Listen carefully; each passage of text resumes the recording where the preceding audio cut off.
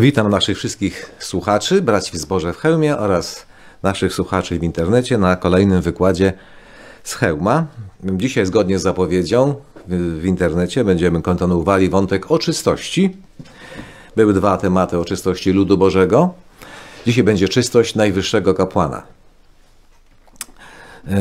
Kto słuchał tych wykładów, to pewnie pamięta, że część pierwsza E, tego wykładu poświęconego czystości ludu Bożego dotyczyła trzeciej Mojżeszowej 21 rozdziału i tam omówiliśmy pierwszych dziewięć wersetów.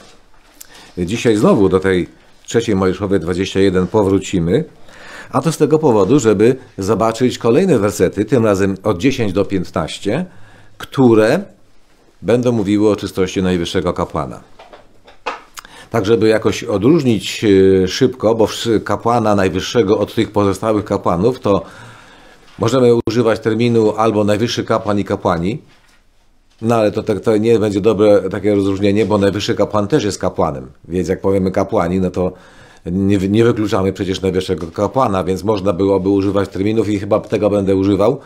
Najwyższy kapłan i podkapłani. Czyli mówiąc podkapłani będziemy, będziemy mieli na myśli kapłanów pod poniżej najwyższego kapłana, e, którym jest, e, który był tylko jeden i który tam e, funkcjonował. Zatem czystość najwyższego kapłana, a gdy będę miał na myśli kapłanów pracujących pod nim na rzecz niego, to będę odnosił się do, do nich jako do podkapłanów. W ten sposób zechcemy ich od siebie odróżnić. Jak pamiętamy, ci drudzy, czyli podkapłani, nie mogli się zanieczyszczać ogólnie z powodu śmierci swoich rodaków, osób im obcych w narodzie, ale mieli prawo się zanieczyszczać z powodu śmierci najbliższej rodziny. To znaczy mogli brać udział w przygotowaniach do pogrzebu, w pogrzebie, mogli być w, jego, w obecności zmarłego i go dotykać, jeżeli taka była potrzeba. Dotyczyło to matki ojca, syna córki oraz brata i siostry, przy czym siostra musiała być panną, dziewicą, nie mającą jeszcze własnej rodziny niezależnej. No i oczywiście żony, która jak pamiętamy nie jest tam wymieniona na liście, ale zapewne tylko dlatego, że jest to oczywiste. Z powodu tych najbliższych osób wolno się było pod kapłaną zanieczyszczać. Ale kapłan najwyższy miał jeszcze bardziej surowe wymagania. Miał całkowity zakaz zanieczyszczania się z powodu śmierci kogokolwiek. Czyli nawet gdy najbliższa rodzina mu zmarła, żona, matka, ojciec, nie miał prawa się zanieczyścić, to znaczy nie miał być, nie ma prawa być w ogóle w obecności, w, w miejscu, w pomieszczeniu, gdzie ta zmarła osoba była, już nie mówiąc o dotykaniu e, tej osoby, e, w przygotowywaniu na przykład tej osoby do pogrzebania. Gdyby nie głębsze znaczenie, które my często nazywamy antytypicznym, jeżeli ktoś po raz pierwszy słucha tego wykładu, to używamy takiego słowa antytyp, czyli e, rzeczywistość, na którą pewne symboliczne obrazy Starego Testamentu wskazują. Zatem, gdyby nie to głębsze znaczenie, antytypiczne, to znaczenie prawdziwe, o które Bogu chodziło, to słusznie można byłoby zapytać, dlaczego Bóg robi takie rozróżnienia wśród Żydów. Ten najwyższy kapłan wśród Żydów był takim samym człowiekiem jak podkapłani, którzy pracowali razem z nim i usługiwali w tej służbie kapłańskiej. I okazuje się, że jednemu Żydowi wolno było się symbolicznie tak zanieczyścić, skazić przez kontakt z umarłym kimś, a drugiemu najwyższemu kapłanowi nawet najbliższa rodzina nie, nawet nie była dla niego wyjątkiem. Więc byłoby to oczywiście niezrozumiałe. I ci, którzy nie rozumieją głębszego znaczenia, to mogą mieć taki dystans, stosunek do Biblii, a to Bóg takie ma jakieś dziwne prawda, poglądy, dziwne zasady, jednemu pozwala, drugiemu nie pozwala i czemu to ma wszystko służyć? To, to takie bez sensu pośłowie. Tak, gdyby nie służyło jakiemuś głębszemu celowi, przekazaniu pewnych bogatych treści i bardzo ważnych treści, to jest bez sensu. Sam bym powiedział, że jest bez sensu. No bo to by znaczyło, że Bóg sobie wprowadzi pewne zasady, ty rób tak, ale to by tak nie wolno robić, to robisz inaczej. No i to jest dla kogoś poważne ograniczenie. Dlaczego on ma ograniczenia takie wielkie, a ten nie ma takich samych ograniczeń? Ale my takiego pytania, dlaczego tak było, nie stawiamy. Nie mówimy też, że było to bez sensu, ponieważ rozumiemy, że różnica w naszym przypadku, między najwyższym kapłanem, któremu nie wolno było się zanieczyścić przez kontakt z umarłym absolutnie z nikim, nawet najbliższej rodziny, a tymi podkapłanami, którzy mieli ten zakaz w stosunku do obcych, ale mogli się zanieczyścić z powodu śmierci swojej najbliższej rodziny, ten zakaz nie, nie, nie dotyczył Żydów w literze, tylko tak naprawdę dotyczył tych osób, które są pokazane w Najwyższym Kapłanie i tych osób, które są pokazane e, w podkapłanach. I w tym głębszym znaczeniu ma to wielki sens i dzisiaj będziemy chcieli go wyprowadzić. I Bóg te prawdy głębokie, e, te prawdziwe, rzeczywiste, pokazywał w różnych sytuacjach w Starym e, Testamencie, w swoich zaleceniach dla narodu żydowskiego, na przykład przy sprawowaniu ofiar. I dopiero z takiego punktu widzenia okazuje się, że jest to bardzo logiczne, piękne, czyste i godne e, zgłębiania i bardzo mądre, bardzo mądre. E, jaki był główny powód, że najwyższy kapłan nie mógł się splamić, zanieczyścić przy żadnym zmarłym, nawet z najbliższej rodziny? On był taki sam i w typie, i w antytypie w tej rzeczywistości, o której będziemy mówili. Ten główny powód jest taki, że najwyższy kapłan jest tylko jeden. I był tylko jeden także w narodzie żydowskim. Zatem, jeżeli najwyższy kapłan uległby skażeniu i przez to skażenie, zanieczyszczenie, przez kontakt z kimś zmarłym, na przykład ze swojej rodziny najbliższej, nie mógłby ofiarować ofiar, no to znaczyło, że przez cały czas jego nieczystości ofiary nie byłyby składane. Byłaby przerwa w funkcjonowaniu najwyższego kapłana. I znowu ktoś powie, no to taki byłby problem, to nie mógłby Bóg poczekać z ofiarami, aż ten najwyższy kapłan minie mu ten czas nieczystości i wróci ponownie do swoich obowiązków. Owszem, w typie z pewnością nie byłoby żadnego problemu tam u Żydów. Przez jakiś czas nie byłyby składane ofiary, a potem by ponownie były składane, no i by zrozumiała byłaby przerwa, bo najwyższy kapłan się zanieczyścił. Nie miał prawa tego czynić. Ale znowu, że nie chodzi o ten typ, o tą literę, tylko chodzi o antytyp, rzeczywistość. Jak zobaczymy, kim jest najwyższy kapłan, i dlaczego nie wolno mu było przerywać jego usługi nawet na dzień, nawet na godzinę, to zrozumiemy, dlaczego był całkowity zakaz. Przypomnijmy sobie, tak na wszelki wypadek, dlaczego ci podkapłani mogli się zanieczyszczyć przy rodzinie, ale nie mogli przereszcie narodu żydowskiego, żebyśmy mogli sobie w ten sposób przygotować grunt dla najwyższego kapłana i jego zakazu. Jak pamiętamy, ci podkapłani to powiemy dzisiaj poświęceni. Dawnymi czasy byli to, były to osoby spodzone z ducha i o nich głównie przede wszystkim Bogu chodziło, bo to była najwyższa klasa. Oni byli kapłanami. W jakim sensie oni byli kapłanami, ci bracia spodzeni z ducha? Ofiarowali swoje człowieczeństwo dla Boga, w służbie dla Boga. Zużywali to człowieczeństwo w służbie dla Boga. Tą ofiarą, którą składali, nie były baranki, owieczki, ani inne zwierzęta, które w zakonie były składane. Te wszystkie zwierzęta z zakonu to były obrazem, symbolem, typem, cieniem, jakbyśmy tego nie nazwali, na ich człowieczeństwo, ich ludzką naturę, ich, o, ich ludzkość, którą oni byli, którą, z którego rezygnowali, poświęcali się Bogu. Bóg ich spładzał z ducha, w ten sposób rozpoczynało się w nich tworzy nowe stworzenie, czyli innymi słowy charakter do kiedyś, do przyszłej boskiej natury, a ta ludzka natura, wszystko co ludzkie było ofiarowane przez nich aż do śmierci. I to było to zwierzę. Ta ludzka ich natura była to zwierzę ze Starego Testamentu, które oni ofiarowali, składali w Bogu ofierze. Na przykład nasz Pan jest pokazany też takim zwierzęciu, w cielcu, doskonałym, tłustym zwierzęciu. I, te, I cielec to ta ludzka natura naszego Pana, którą nasz Pan także ofiarował. I jako kapłan, jako nowe stworzenie, bo kapłan to nowe stworzenie, złoży ją w ofierze. Zatem chodzi głównie przede wszystkim o tych braci, spłodzonych z ducha, którzy składali swoje zwierzęta, czyli swoją ludzką naturę w ofierze dla Boga, a ich nowe stworzenie się przy, tej, przy tym składaniu tej ofiary rozwijało. Nabywali cechy charakteru niezbędne kiedyś do bycia w niebie razem z Chrystusem. Ale że Biblia nie podaje żadnych innych zasad ani reguł dla braci niespłodzonych z ducha, więc myślę, że jest rzeczą pożyteczną analizować to, co ich obowiązywało, bo z pewnością Bóg kieruje się takimi samymi zasada, zasadami. Też chce, żeby bracia niespłodzeni z ducha, a poświęceni Bogu, rozwijali charaktery w kierunku doskonałości. Nie ma w tym przypadku większego znaczenia, że nie są już nowymi stworzeniami. I w literalnie w literze nie są pokazani w tych podkapłanach. Zasada jest taka sama dla wszystkich poświęconych, bo wszyscy poświęceni rozwijają charakter do przyszłego królestwa, żeby się w nim znaleźć, ofiarując to, co ludzkie. Czyli innymi słowy, bez spłodzenia z ducha inni bracia robią dokładnie to samo, co maluczkie statko. Oczywiście wychodzi im to gorzej, nie są spłodzeni z ducha, więc automatycznie nie mają tego nowego stworzenia, które by tą ludzką naturę składało w ofierze, więc trudniej im to robić z pewnością, no bo są tylko ludźmi. Nawet nie mają zaczątku nowego stworzenia w sobie w postaci pewnych organów mózgu, które by im pozwalały funkcjonować na jakimś takim wyższym poziomie, patrzeć na coś bardziej z boskiego punktu widzenia, jak to było w przypadku spodzonych, ale Biblia reguł nie zmieniła. I chyba się zgodzimy z tym, że mądrze Bóg zrobił, że dla klas niespodzonych z ducha nie zmienił reguł, tylko mówił, róbcie to samo. Najlepiej jak się stara, jak możecie. Idźcie jak najbliżej, śladem, krokiem za maluczkim statkiem. Wyjdzie wam to trochę słabiej, bo nie jesteście spodzeni z ducha, ale ta sama zasada obowiązuje. Niczego nie zmieniam w stosunku do was.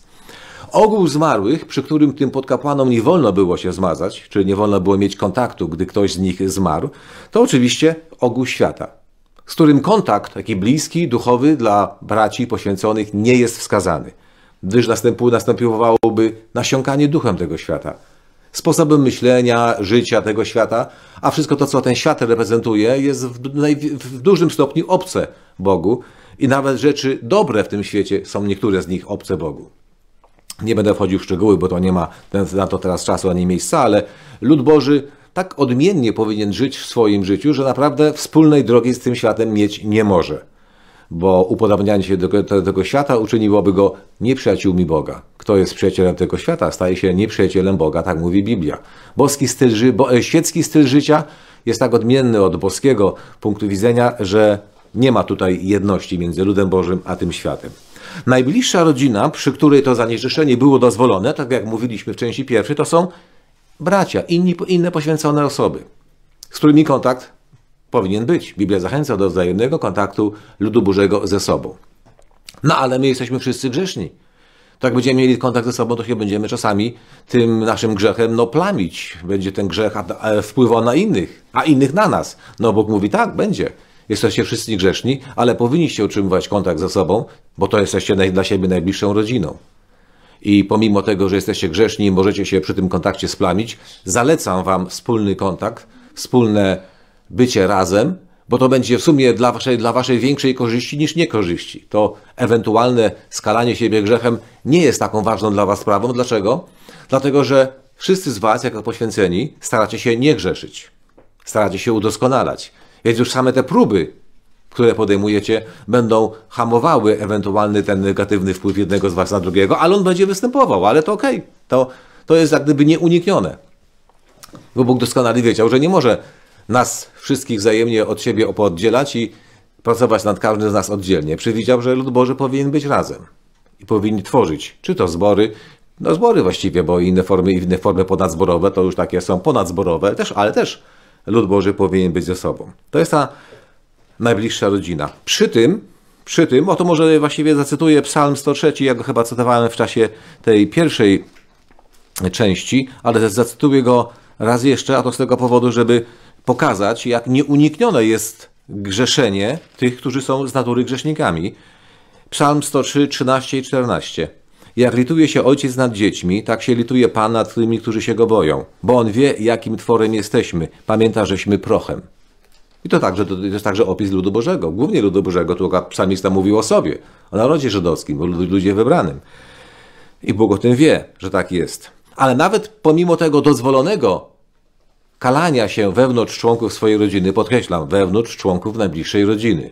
Nie w kontaktach ze światem, które nie są zalecane ludowi Bożemu. Duchowa jedność z tym światem. Nie chodzi o kontakty biznesowe, sąsiedzkie czy żadne inne, tylko ta duchowa jedność z tym światem, ona jest zakazana, bo będzie niekorzy- byłaby niekorzystna dla ludu Bożego. Ale nawet przy tym kontakcie dozwolonym były pewne ograniczenia. Pamiętamy? Nie wolno było szczyc głów do łysego, czyli nie wolno było rezygnować z mocy prawdy, ducha prawdy dla ludu Bożego. Nie wolno było przycinać boków brody, czyli nie wolno było upodabniać prawdy jej ducha do błędów szatana. I nie wolno było robić sobie nacięć na ciele. To znaczy nie wolno było tęsknić za rzeczami starego Adama. Za tym, co dziecko Boże zostawiło w poświęceniu za sobą i do czego już się nie ogląda z żalem, że to kiedyś miało, a teraz tego nie ma, od chwili poświęcenia i jaka szkoda, że tego brakuje. Tych rzeczy nie wolno było robić nawet w dozwolonym kontakcie e, z, z najbliższą rodziną, przy której nieunikniony, w nieunikniony sposób następowało e, jakieś, jakieś, w jakimś stopniu to skalanie. Tyle przypomnienia, a teraz kim jest najwyższy kapłan, o którym dzisiaj mówimy, który ma całkowity zakaz skalania się nad kimkolwiek, z kimkolwiek, przy kimkolwiek, Żona nie ma wyjątku, matka nie ma wyjątku, ojciec umrze, nie ma wyjątku. Oczywiście każdy wie, najwyższy kapłan to nasz Pan, Zbawiciel Jezus, który miał całkowity zakaz skalania się przez kontakt z jakimkolwiek umarłym, nawet z najbliższej rodziny. Żydów 3.1, list do Żydów 3.1, nasz Pan tam jest tak nazwany. Przeto bracia święci, współuczestnicy powołania niebieskiego, zważy, zważajcie, zważcie na Jezusa, posłańca albo apostoła, bo to tak można przetłumaczyć słowo posłańca, apostoła i arcykapłana naszego wyznania. Tutaj najwyższy kapłan nazwany jest arcykapłanem. Każdy wie, że arcy to ten taki główny, prawda? Tak jak mistrz i arcymistrz, to arcymistrz jest trochę, trochę większy od mistrza. Tak jak najwyższy kapłan to był ten najwyższy ze wszystkich kapłanów. Tutaj tak jest on nazwany tym arcykapłanem. On nie mógł się zanieczyścić przy śmierci nikogo, nawet najbliższej rodziny. E, porównajmy to, ten zakaz. Mamy fajny akurat e, dowód na to e, z Ezechiela, który był kapłanem. A za Ezechiel 1.3 i zobaczmy w Ezechiela 1.3, najpierw dowód na to, że on był tymże kapłanem. Doszło słowo pana Ezechiela, syna Buziego, kapłana w ziemi chaldejskiej, nawet po wygnaniu. Nad rzeką Kebar, a ręka pana spoczęła tam na nim. Tak? Kapłana, tak? syna, Boże, syna Buziego, Buziego, kapłana. I jemu zmarła żona. Ezechiel 24. Bóg mu zapowiedział, że ta żona mu umrze i jednocześnie zapowiedział, żeby nie rozpaczał z tego powodu. Żeby nie okazywał żadnego smutku. E, mam na myśli 24 Ezechiela 16 do 18. Syny człowieczy, oto ja zabiorę ci przez nagłą śmierć rozkosz twoich oczu. Lecz ty nie biadaj, ani nie płacz. Niech ani jedna łza u ciebie się nie pojawi. Wzdychaj tylko cicho. Nie urządzaj żałoby po zmarłym. Zawiąż sobie zawój na głowie, na nogi włóż sandały, nie zasłaniaj swojej brody i nie jedz chleba żałoby. Z rana przemawiałem do ludu, a wieczorem zmarła moja żona. Następnego rana uczyniłem to, co mi nakazano. Rano jeszcze służył, a wieczorem zmarła mu żona, Bóg mu to zapowiedział. Wracamy do 3 Mojżeszowy 21 i do naszego pierwszego wersetu, czyli numer 10, tak? bo dzisiaj rozważamy 3 Mojżeszowa 21 od 10 do 15. Zatem pierwszym, jaki nas będzie interesował, będzie 10, bo 1 do 9 omówiliśmy w części pierwszej czystości ludu Bożego. Można sobie odświeżyć, jakby ktoś nie słyszał, a słucha tego tematu. Warto także wiedzieć o tym, co ta trzecia Mojżeszowa 21 mówi o czystości podkapłanów, czyli braci poświęconych. Werset 10. A kapłan w gronie swoich braci najwyższy godnością, na którego głowę została wylana oliwa namaszczenia i który został poświęcony, aby wkładać szaty, nie będzie obnażał albo ogołacał głowy swojej, ani szwat, ani swoich szat rozdzierał. Tak jak mówiliśmy, chociaż Bóg dozwala na wzajemne adamowe kalanie się grzesznych podkapłanów z powodu ich wrodzonej, wrodzonej i niemożliwej do uniknięcia grzeszności, w przypadku najwyższego kapłana albo arcykapłana było to całkowicie zakazane. Po pierwsze, był on jeden, więc w razie skalania nie można było go nikim zastąpić, a w antytypie, w tej rzeczywistości, tym najwyższym kapłanem jest nasz Pan. I tutaj wychodzi jeszcze jeden, wydaje mi się, ważny powód, dla którego on miał ten całkowity zakaz. Nie tylko, że był jeden, bo i w typie był jeden i w antytypie był jeden. Mamy tylko jednego takiego arcykapłana, naszego Pana Jezusa, który może coś dla nas zrobić, a jakby go zabrakło, to nie ma kim go zastąpić. Ale y, w antytypie jest jeszcze jeden ważny powód. Nasz Pan nigdy nie był sam grzesznikiem. Więc y, jeżeli on by się skaził, to by znaczyło, że popadłby w grzech. No a jakby popadł w grzech, to straciłby wszystkie kwalifikacje do bycia tym najwyższym kapłanem. I oznaczałoby to w antytypie nie tylko, że chwilowo by go zabrakło, zabrakłoby go na zawsze. Nie można po zgrzeszeniu przez kogoś takiego jak nasz Pan potem pokutować, żałować i ponownie być tym, kim było się wcześniej.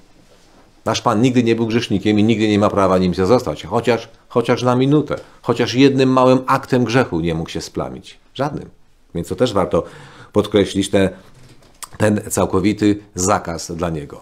Raz, że jesteś jedyny, a dwa, startujesz z pozycji doskonałości, bo nasz Pan startował z pozycji doskonałej ludzkiej natury. Pamiętamy, jak obraz z cieni przybytku. Wszyscy my, ludzie, łącznie z, z apostołami, startowali z obozu przez pokutę i wiarę pod bramę obozu.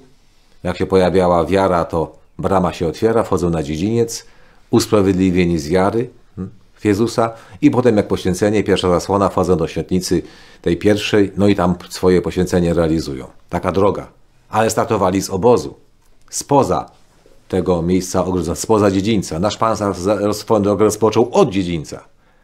On nie potrzebował wykazywać żadnej wiary, żeby mu się brama otworzyła na dziedziniec, żeby mógł wejść dzięki wierze w kogoś i uzyskać stan doskonałej ludzkiej natury. On był nią, on był w niej, on od niej zaczął.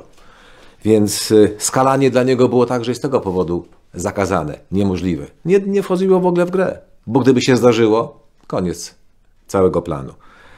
Dwie jego cechy, tego najwyższego kapłana z tego wersetu, to jakie tutaj mamy?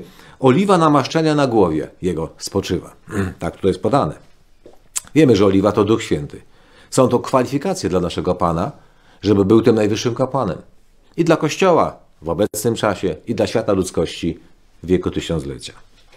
I druga jego cecha jest poświęcony do noszenia świętych szat.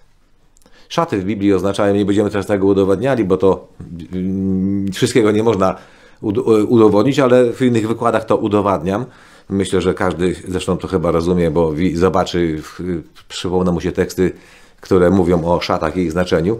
Szaty oznaczają cechy charakteru albo tak, tak zwane władze urzędowe. Czyli to, co człowieka zdobi, to, co czyni go wielkim. To jest tak chyba nawet w świecie, prawda? My ludzie prywatni, jak się ładnie ubierzemy, to ładnie wyglądamy. W znaczeniu duchowym ten ładny ubiór to ładny charakter, jaki masz. Też tak chciałem zdobić jak twoje ładne szaty. A jak weźmiemy różnych urzędników państwowych, sędziów, policjantów i tak dalej, oni mają różne mundury, togi, prawda, stroje do swego stanowiska.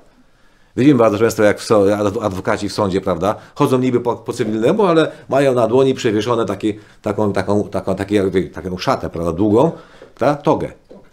Właśnie. No i póki tej togi nie zakłada, wygląda normalnie, ale jak wchodzi na salę i tam będzie już urząd pełnił, występuje w jakiejś roli, no to ma tą togę, ma się wyróżniać. Prokurator ma taką togę, e, inni, inni prawnicy, którzy tam biorą udział, prawda, no bo tak, tak jest przyjęte.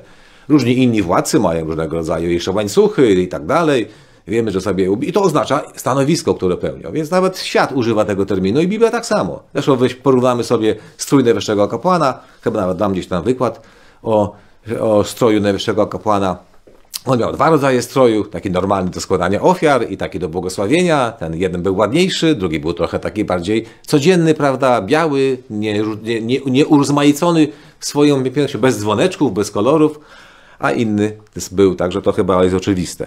Zatem jest poświęcony do noszenia świętych szat, to znaczy on jest przeznaczony, bo poświęcony to znaczy poświęco, przygotowany, przeznaczony do sprawowania pewnych funkcji. Wobec tego on musi tę funkcję pełnić. On nie może sobie pozwolić na zanieczyszczenie się na to. On jest, do tego przygotowany. Ma oliwę namaszczenia, odpowiednie cechy, które do tego kwalifikują i odpowiednie władze urzędowe, cechy charakteru i władze urzędowe, które w tych szatach są pokazane. W jego kontaktach z upadłymi członkami rodzaju Adamowego, bo miał ten kontakt, przez 3,5 roku na Ziemi miał ten kontakt. No w sumie miał 33,5 roku, ale mówimy o 3,5 roku, bo wtedy, kiedy on się poświęcił, zaczął być kapłanem bo do roku 30 nasz Pan nie był kapłanem. Był doskonałym Jezusem, człowiekiem. Kapłanem stał się od Jordanu, bo wtedy nowe stworzenie się w nim pojawiło i jego nowe stworzenie powiedziało jemu, jemu jako człowiekowi, od tej pory będziesz wszystko w życiu robił tak, żeby wykonywać misję, którą Bóg ci powierzył. Musisz jako człowiek zapomnieć o wielu rzeczach, dobrych dla człowieka nawet. Na przykład zapomnij o zakładaniu rodziny. Jesteś człowiekiem, mężczyzną, ale nie, nie dla ciebie jest rodzina. Ty masz złożyć ofiarę, więc po co masz zakładać rodzinę na ten krótki czas pobytu na ziemi? Ty masz tutaj uczniów powołać, masz rozwinąć swoje własne nowe stworzenie, żeby było do boskiej natury odpowiednie, bo wcześniej byłeś logosem w anielskiej naturze.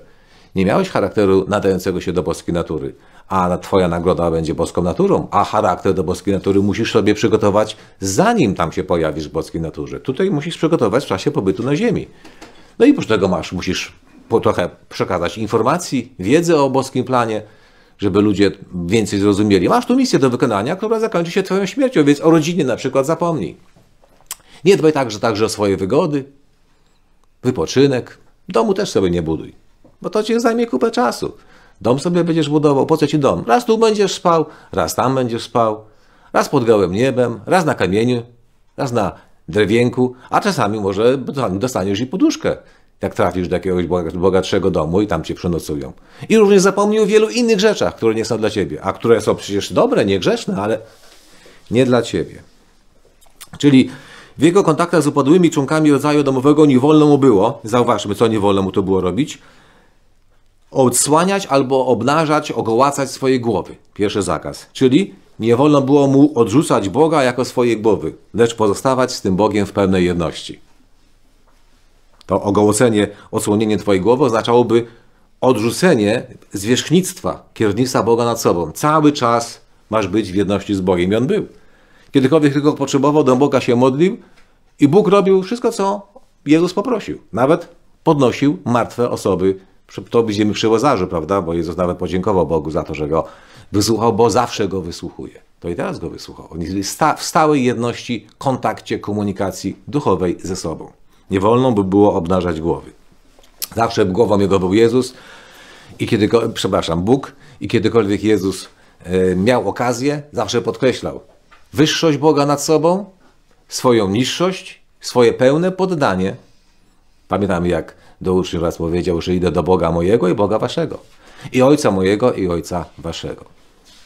I druga rzecz, której nie wolno mu było robić, nie wolno było mu rozdzierać szat. Jak już powiedzieliśmy, szaty to te władze urzędowe związane z jego funkcją, którą ma wykonywać wobec ludu Bożego wieku Ewangelii, a kiedyś później jeszcze wobec świata, to te same szaty mu się mu przydają. Nie wolno mu było rozdzierać, to znaczy nie wolno było mu niszczyć. Zadawać gwałtu tym władzom, robić coś przeciwko temu urzędowi. To tak jak byśmy powiedzieli, sędzia ładny w tego się ubierze, reprezentuje sędzię, wymiar sprawiedliwości, przychodzi do wyroku sądowego, patrzy, łapówka wpłynęła, wpłynęła łapówka, no to wyrok zgodnie z intencją oskarżonego, który wpłacił odpowiednią łapówkę. W tym momencie następuje podarcie szat tego sędziego, który sprzeniewierzył się funkcji, jaką pełni. I każdy inny urzędnik, który ma jakąś pełną, pełną funkcję, jeżeli się sprzeniewierzy funkcji, którą pełni i zrobi coś dla własnych korzyści, albo po rodzinnemu, ale wbrew prawu, rozdziela symboliczne swoje szaty urzędowe. Niszczy, działa to niszczy. To nie wolno ci tego robić. I nasz Pan tego nigdy nie zrobił. Jedenasty werset. Nie przystąpi do zwłok żadnego zmarłego, nawet przy zmarłym swoim ojcu i przy zmarłej swojej matce nie będzie się zanieczyszczał. Czyli nawet w najmniejszym stopniu nie może się skalać nieczystością odomową.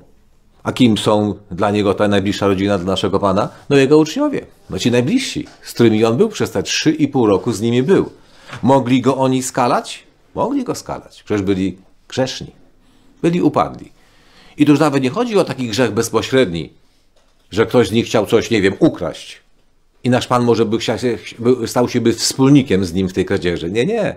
Taki nawet nie bezpośredni grzech. Jak wiemy, nasz Pan był doskonały, więc dla niego bezpośredni grzech nawet nie był groźny.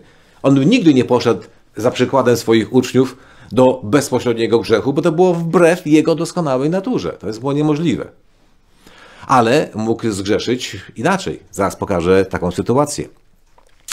Nie mógł, czyli nawet ci najbliżsi, czyli uczniowie, a nawet gdybyśmy z tych uczniów jeszcze jego najbliższych i najbardziej mu y, drogich uczniów wybrali, czyli Piotra, Jakuba, Jana, których wydaje się, że miłował jeszcze bardziej niż pozostałych z powodu pewnie ich ducha, tak? ich podobieństwo, ich usposobienia, które było bardzo, bardzo bardziej, bardziej zbliżone do boskiego niż u innych apostołów, którzy może mieli większe problemy do pokonania w rozwoju charakteru, a ci mieli tak genetycznie lepsze i dlatego byli mu bliżsi tak duchowo, chociaż miłował wszystkich, ale wiemy, że wyróżniał e, tę tą trójkę. Więc nie wolno by byłoby nawet, gdyby jeden z tych naj, najbliższych, z tych trzech, najbardziej umiłowanych, miał w jakiś sposób wpłynąć na niego niekorzystnie. Tylko jeszcze raz podkreślam, nie do bezpośredniego grzechu, bo po pierwsze uczniowie na pewno by, nawet gdyby chcieli, to by nie śmieli proponować naszemu Panu niczego grzesznego, nawet gdyby takie im do głowy coś przyszło. Na przykład Judasz nie myślał, żeby naszego Pana wciągnąć w, w okradanie ich z pieniędzy, które mieli, prawda? Wiedział, że to się trzeba tego wstydzić, że nasz Pan nie będzie wspólnikiem z nimi, nawet mu tego nie proponował. Robił to sam na własną rękę, nawet przed innymi, chociaż podobno inni wiedzieli, no bo zostało to zapisane, prawda? Nie przez Judasza, więc ktoś tam przynajmniej jeszcze pewnie wiedział. Nasz Pan musiał jako kapłan pozostać takim, jakim opisuje go Paweł w Żydów 4.15. Zajrzymy tam sobie, żeby sobie zobaczyć, jaki to nasz Pan jako najwyższy kapłan miał być. Żydów, list do Żydów oczywiście 4.15. I co tam przeczytamy? Nie mamy bowiem arcykapłana, który by nie mógł współczuć ze słabościami naszymi, lecz doświadczonego we wszystkim podobnie jak my, z wyjątkiem grzechu. Doświadczony ze we wszystkim pod każdym względem, z wyjątkiem grzechu, Tu można oczywiście to wyjątkiem grzechu rozumieć na dwa sposoby i obydwa są pewnie prawdziwe wobec naszego Pana. Jedna, jedna rzecz, że doświadczony jak my, tak samo jak my, ale z wyjątkiem grzechu, czyli na, na, na punkcie grzesznych skłonności, których nie miał. Czyli na innymi słowy, był doświadczony we wszystkim z wyjątkiem na zachęcenia go do czegoś grzesznego. Co dla naszego Pana nie było atrakcyjne, bo on nie miał nic sobie grzesznego, więc grzech dla niego był nieatrakcyjny. Grzech jest atrakcyjny dla grzesznika tylko dlatego, że grzesznik w swojej naturze ma pewne skłonności, ciągoty do tej grzesznej rzeczy. I jest pociągany. No i musi się, powinien się przeciwstawiać tym ciągotom, prawda? Nasz Pan, nie mając takich skłonności, takich ciągot, no nie miał tak, e, skłonności, bo jego to nie ciekawiło, jego to nie pociągało. Jak człowieka coś nie pociąga, to raczej nie musi walczyć, żeby tego nie robić, prawda? Po prostu nie robi, bo go to nie interesuje. Sięgamy na przykład po jedzenie, którego nie lubimy? Albo mamy problem nie jeść tego, czego i tak, nie lubimy? No chyba nie. Natomiast gdybyśmy lubili rzeczy szkodliwe, nie wiem, ocet może być komuś szkodzić, a niektórzy sobie lubią ocet dodać do jakichś potraw. No i teraz jak lubi ocet, bo to jest bardzo smaczne z octem, ale z drugiej strony wie, że ocet mu szkodzi, no to teraz na razie ma pewną problem, prawda? Musi pokonać upodobanie do octu, bo mu szkodzi, no i musi sobie odmówić. Taki prosty przykład, prawda? Żebyśmy zrozumieli, na czym polega, na czym polega, że ktoś nie posiada w sobie grzechu, wobec tego nie musi nawet walczyć z tymi ciągotami do grzechu, bo ich nie ma. To jest jedno zrozumienie tego, możliwość tego z wyjątkiem grzechu, a druga, że żadne pokusy naszego Pana, które przychodziły na niego, nie doprowadziły go do upadku, do grzechu. Tak? Żadna pokusa, nawet taka pokusa do czegoś niekoniecznie grzesznego jako takiego. Ale w rezultacie mógłby to być grzech. No chociażby pamiętamy, jedna z trzech pokus, jakie nasz Pan miał. One nie były same w sobie grzeszne. Grzech polegał tylko na tym, że w rezultacie doprowadziłyby do czegoś innego niż Bóg zamierzył. Ale zamienienie kamieni w chleb, żeby się pożywić, nie jest chyba rzeczą grzeszną samą w sobie. Co to za grzech? Skok ze z góry świątyni na dół, żeby ludzie zobaczyli, kim ja jestem i że nic mi się nie stało, że Bóg mnie chronił w tym zeskoku, sam sobie niczym nie jest grzesznym. Pozyskuję jak gdyby słuchaczy, którzy widząc to będą bardziej chętnie przyjmowali ode mnie to, co ja do nich mówię. Okej, okay, to tak nam, nam e, jeśli chodzi o komentarz tego, że doświadczony podobni jak my, z wyjątkiem grzechu. To te dwie możliwości, żadna z nich w naszym Panu nie wystąpiła. Ani grzeszne skłonności w nim nie ciągnęły go do niczego grzesznego, bo takich skłonności nie miał, ani też żadna pokusa nieobliczona bezpośrednio jako grzeszna nie doprowadziła go do, w wyniku jej ulegnięcia przez naszego Pana, e, do tego, żeby zgrzeszył. Jedną z taką sytuacji doskalania jest, y, y, przytoczę z Ewangelii Marka, jedna taka sytuacja, sama sobie znowu, tak jak mówiłem, nie grzeszna sama w sobie, nasz Pan nie reagował na grzech sam w sobie, ale mogło się skończyć to grzechem i upadkiem, zanieczyszczeniem naszego Pana, gdyby zrobił coś takiego, co mamy zapisane w Marka 8 rozdziale. Więc idziemy do Marka 8 rozdział, 31 do 33. Jezus opowiadał, opowiadał swoim uczniom często o swojej śmierci. I co przeczytamy w Marka 8, 31 do 33? I zaczął ich pouczać o tym, że Syn Człowieczy musi wiele cierpieć, być odrzucony przez starszych arcykapłanów uczonych w piśmie i musi być zabity, a po trzech dniach zmartwychwstać. I mówił o tym otwarcie, a Piotr wziął go na stronę i począł go upominać. Lecz on odwrócił się, spojrzał na uczniów swoich i zgromił Piotra, mówiąc: Idź precz ode mnie, szatanie, bo nie myślisz o tym, co boskie, tylko o tym, co ludzkie. Tu od razu dodajemy, że gdy nasz Pan mówił szatanie, użył greckiego słowa satak, satatak, satanas, czy satanos, czy satan, znaczy to po polsku przeciwnik, czyli nasz Pan mówiąc, powiedział do niego, idź, idź ode mnie przeciwniku, bo nie myślisz o tym, co boskie. Tak lepiej, żebyśmy podsunęli, żebyśmy nie sądzili, że na Piotr stał się szatanem, prawda? Tylko to, co Piotr powiedział, czyli zgromił go. Nie wiemy, jakimi słowami on go zgromił, ale wiemy, że pewnie mówił mu, że co ty mówisz, to takie rzeczy, zapomnij o tych rzeczach, ty jesteś Mesjaszem, który ma tutaj przejąć nad nami władzę jako król i, i panować, a nie śmierci. Co ty mówisz o jakiejkolwiek śmierci? Wobec tego nasz Pan zgromił go, powiedział, żeby odszedł od niego, bo jest jego przeciwnikiem w tym, co mówi. Te słowa są przeciwne jego misji. I jeszcze mu powiedział, nie myślisz po boskiemu, o tym co boskie, tylko o tym co ludzkie. Z twojego ludzkiego punktu widzenia wydawałoby się, po co umierać? Przecież można tyle dobrego zrobić. Jesteś synem Bożym. No szatan dokładnie to samo mu proponował w jednej swojej pokusie, z tym z pokłonem, prawda? gdy mówił, żeby się mu pokłonił. To oddam mu panowanie nad królestwami tego świata. No i też dokonasz wiele dobrego. I teraz nagle Piotr występuje z coś czymś podobnym. Czy twoja śmierć jest konieczna? No ale nie rozumiał, więc, ale widzimy mocne słowa naszego Pana. Nawet jeżeli szatanie zastąpimy przeciwnikiem, tak jak to słowo znaczy, to wciąż jest to mocne. Idź precz ode mnie, przeciwniku, bo nie myślisz o tym, co boskie, tylko o tym, co ludzkie. Gdyby nasz Pan posłuchał tutaj Piotra, no to skończyłoby się grzechem. Dla osoby, która poświęciła swoje życie, nasz Pan już był poświęcenie, dla osoby, która poświęciła swoje życie, żeby oddać je za człowieka, a w międzyczasie rozwijać nowe stworzenie do boskiej natury, to byłoby grzechem. Nasz Pan nie miał obowiązku umierać za człowieka, ale z chwilą, gdy podjął się tego i został stworzony z ducha do boskiej natury, to znaczy, że już zrezygnował z życia jako człowiek. Nie miał powrotu. Tak jak każda osoba, która się poświęciła i została stworzona z ducha, nie miała już powrotu do wycofania się i do rezygnacji. U Boga czyste zasady. Wchodzimy w pewien układ, ja coś ci obiecuję, ty to przyjmujesz i teraz masz to zrealizować. A jak łamiesz zasady, no to tracisz wszystko. Bo ja cię dlatego spodziłem do twojej, do boskiej natury, tak? Spodziłem cię, żebyś charakter rozwinął, że uznałem, że twoje doskonałe ludzkie życie jest dla ciebie nieistotne, że ty z niego rezygnujesz i ty z niego zrezygnowałeś. W chwili, gdy ja cię spładzałem z ducha, ja miałem twoją rezygnację. Gdybyśmy to e, przenieśli na transakcję biznesową, to było podpisałeś się na dokumencie. Mówisz, Boże, jeśli mnie spodzisz z ducha do boskiej natury, ja rezygnuję z życia jako człowiek. Na zawsze. Nigdy nie będę, nie chcę być człowiekiem. Rozwijaj mnie do boskiej natury. Dobrze? Podpisz tu się. Podpisali, wymienili dokumenty, każdy wziął swoją kopię. No i tak przyszło do realizacji po pięciu latach, po dziesięciu, po piętnastu. Ktoś taki by chciał zrezygnować. Nie można. Zrezygnowałeś. Nasz Pan też zrezygnował. Oddał za człowieka, za Adama. I Bóg przyjął tą rezygnację od naszego Pana. W wieku, w wieku 30 lat. Cztery dni prawdopodobnie przed Jordanem, bo poświęcenie naszego Pana w sercu było wcześniej. Cztery dni szedł do tego Jordanu i został zanurzony, został zewnętrznie pokazał to swoje poświęcenie, oddanie.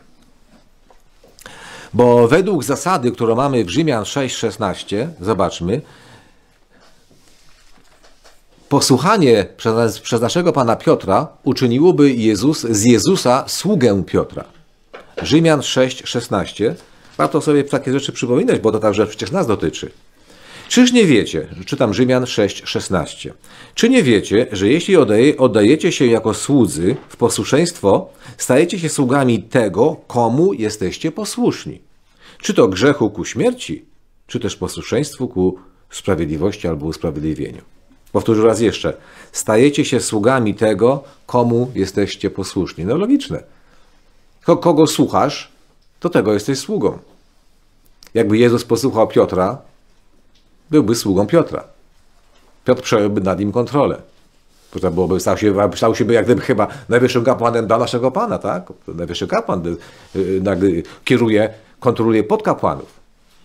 Gdyby nasz Pan posłuchał Judasza, tylko nie słownie, nie, tylko posłuchał jego działań, to znaczy wszedł w to, co szatan, co, przepraszam, szatan, co Judasz dla niego, na niego zastawił, to znaczy ja cię wydam, ty się będziesz bronił przecież na pewno, wezwiesz na, na pomoc anielskie posiłki legiony, które cię obronią i rozpoczniesz to królestwo. I gdyby znowu nasz Pan poszedł, zaczął postępować tak, jak Judasz dla niego zaplanował w swoim planie zdradzenia naszego Pana, to znowu stałby się nasz Pan sługą Judasza.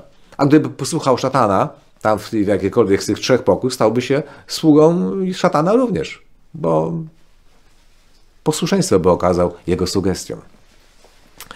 Werset 12, oczywiście trzecia Mojżeszowa 21. Wracamy do naszego podstawowego źródła. 12 werset. Nie wyjdzie ze świątyni, aby nie zbezcześcił świątyni swego Boga, gdyż jest poświęcony oliwą namaszczenia swego Boga, jam jest Pan.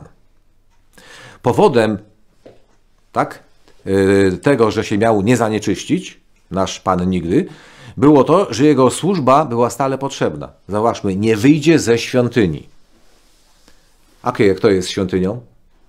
W antytypie, w tym głębszym znaczeniu, klasy ludu Bożego. No przede wszystkim ta najważniejsza, główna.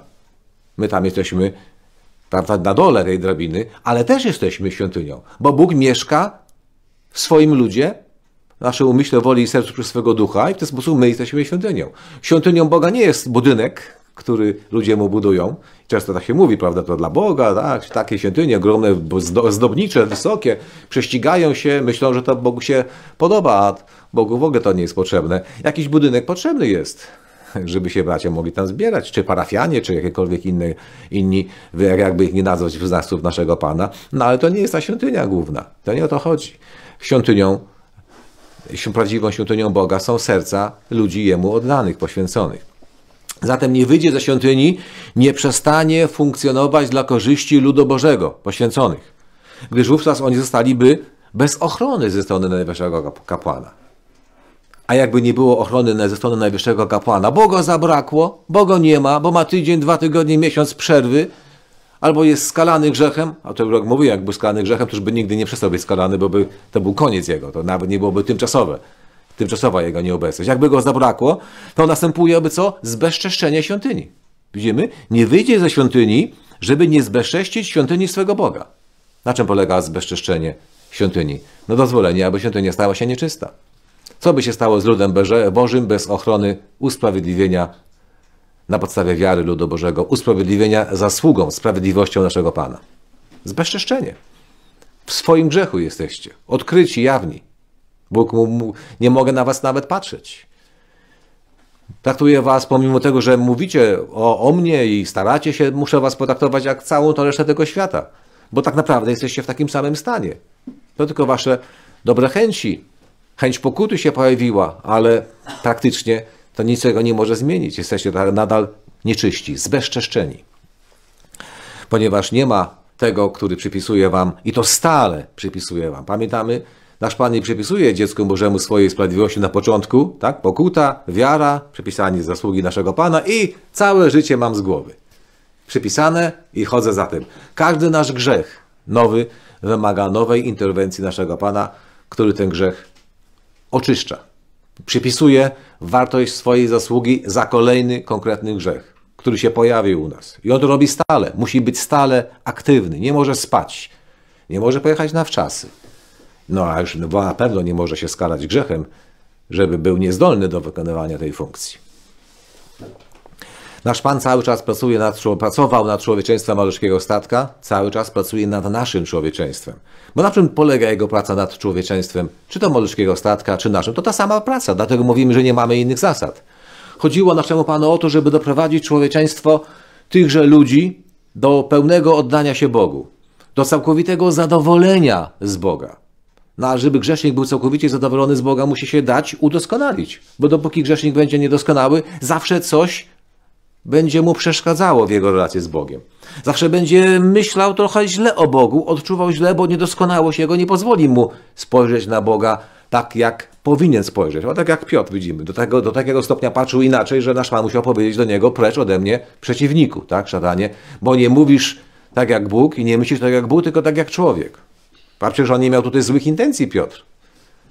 Jemu było szkoda naszego Pana i, i, i jego śmierci, no i jak gdyby jego zdaniem końca tego wszystkiego, co się szykowało, co się zdawało, że zaczęło się coś fajnego dziać, a tu nagle on mówi o śmierci. No bo tak bardzo, jako grzeszny, upadły człowiek, był oddalony od boskiego sposobu widzenia.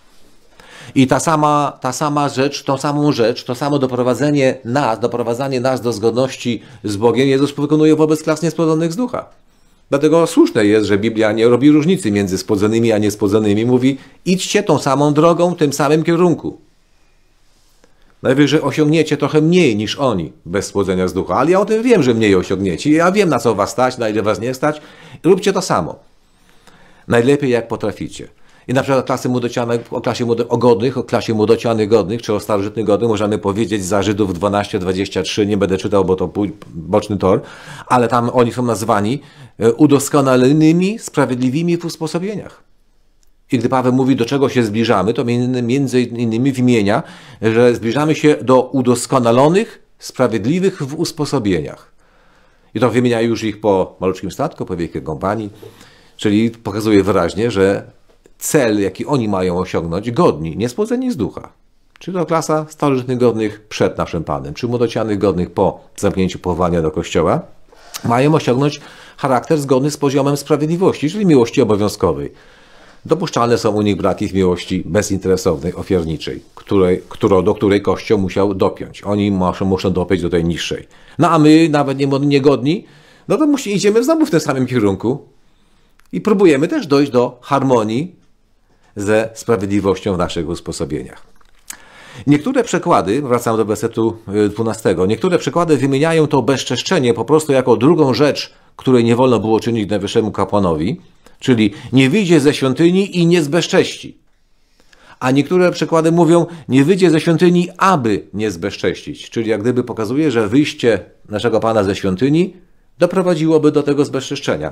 Jedno i drugie jest prawdziwe, wobec tego nie ma nawet po co, e, że tak powiem, tutaj kopii kruszyć, które tłumaczenie jest bardziej prawidłowe, które mniej prawidłowe.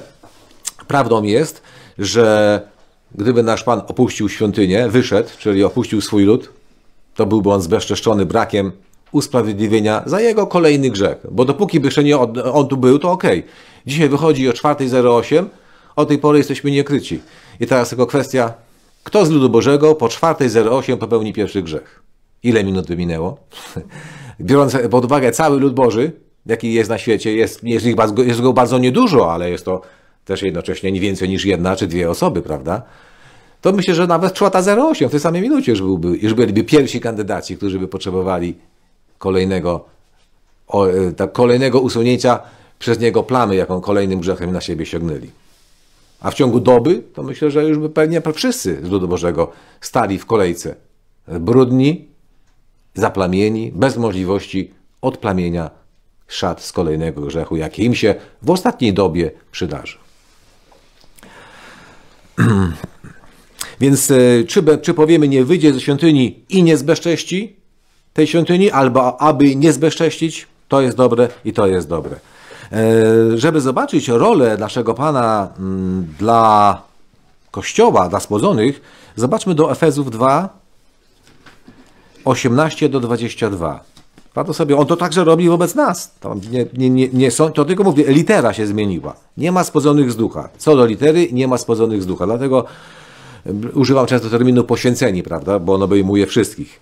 Ale to, co nasz Pan robił dla spodzonych, robi to samo dla niespodzonych tylko osiągnie inne efekty. Nie rozwinie klasy malutkiego statka z nas, ani wielkiej kompanii, bo nie jesteśmy stworzeni z ducha.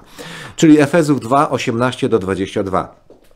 Albowiem przez Niego, wiadomo przez kogo, mamy dostęp do Ojca, jedni i drudzy w jednym duchu. Tak więc już nie jesteście obcymi i przychodniami, lecz współobywatelami świętych i domownikami wiary. To on mówi jedni i drudzy, bo on ma na myśli Żydów i Pogan, więc on tutaj wyjaśnia różnicę, że Kiedyś była to różnica, Żydzi byli ludem Bożym, poganie nie, ale Jezus to zniósł wszystko i tak dalej.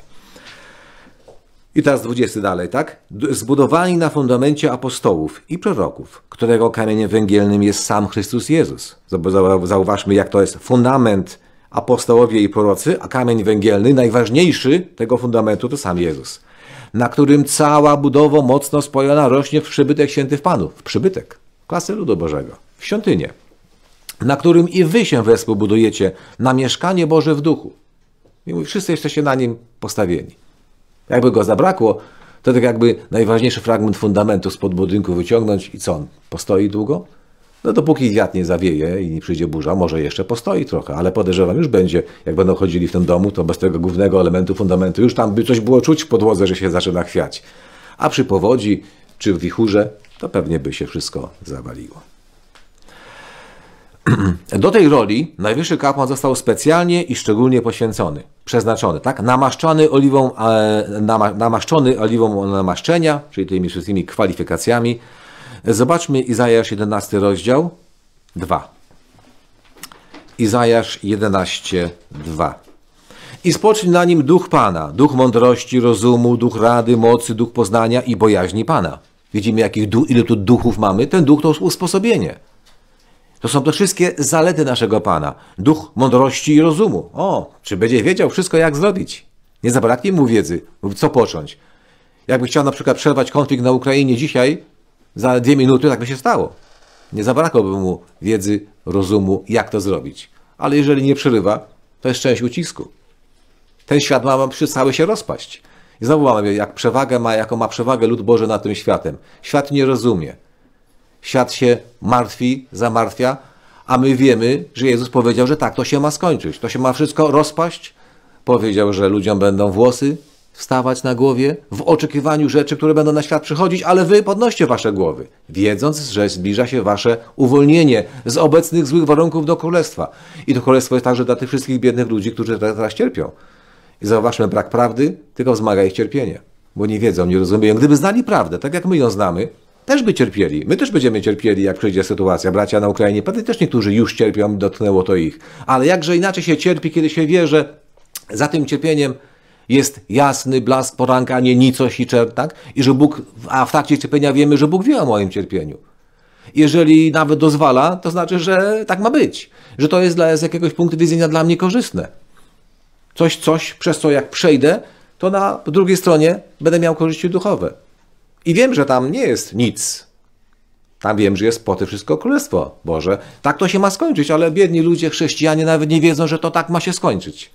I gdy widzą, że jak się zaczyna kończyć, tak że oni już widzą, już oni widzą, że się kończy, to no jest po, po, po, powszechny strach, przerażenie, ból, cierpienie i brak nadziei.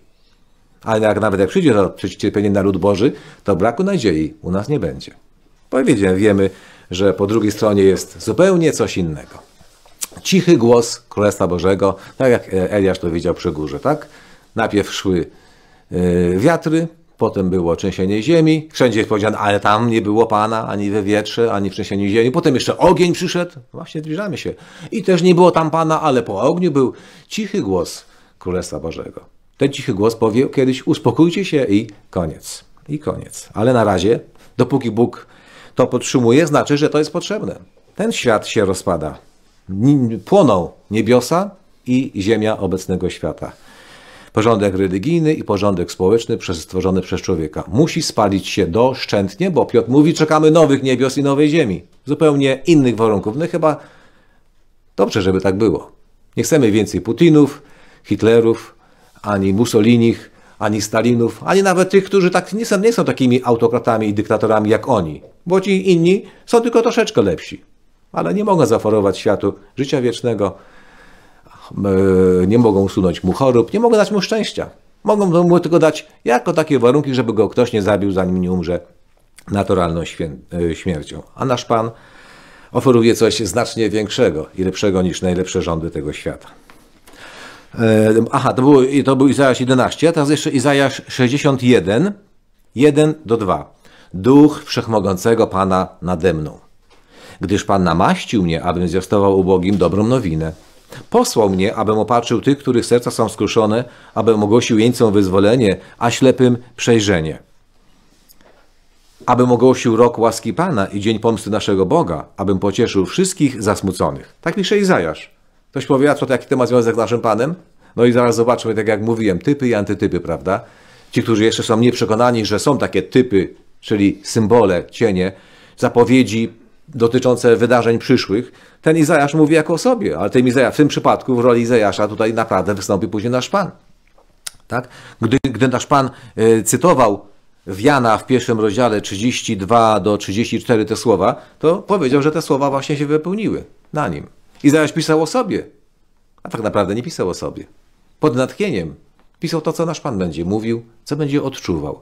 To nasz Pan miał powiedzieć, nie Izajasz miał to odczuć. Duch Wszechmocnego Pana nade mną, gdyż Pan mnie namaścił, aby zwiastował ubogim dobrą nowinę. Izajasza nie namaścił. Izajasz mówił, mówił jako typ o naszym Panu. Posłał mnie, abym opatrzył tych, których serca są skruszone? Nie, nie posłał Izajasza w tym celu abym ogłosił jeńcom wyzwolenie i ślepym przejrzenie? Ci jeńcy to są więźniowie grobu. To, to Izajasz miał ich z tego grobu wyprowadzić? Nie, nie posłał Izajasza w tym celu. Jakiegoś kogoś innego posłał. Izajasz tylko mówił o tym kimś innym. I zauważmy teraz, jak, jak mądrze, i to znowu jest kolejny dowód na to, że Biblia zawiera w Starym Testamencie różne nauki typiczne, ukryte w symbolach, dotyczące różnych okresów czasu. Powtarzam raz jeszcze werset y, Drugi, abym ogłosił rok łaski Pana i dzień pomsty naszego Boga, abym pocieszył wszystkich zasmuconych. Tak jest w Izajaszu 61.2. A teraz zobaczmy, jak nasz Pan cytuje to i co robi z tym cytatem? Pomija pewien fragment. Ktoś powie, manipuluje wersetem pisma. No, no okej, okay, możesz tak możesz zarzucić, ale chyba nie masz odwagi naszemu Panu zarzucać manipulacji. Więc y, możesz tylko zobaczyć, jak nasz Pan był świadomy, że w Starym Testamencie są zapisane różne proroctwa dotyczące Jego działalności, ale Jego działalności w wieku Ewangelii, Jego działalności w wieku tysiąclecia, albo pod koniec wieku Ewangelii kiedy będzie on się kończył, bo gdy nasz Pan cytuje ten fragment w Jana w pierwszym rozdziale 32 do 34,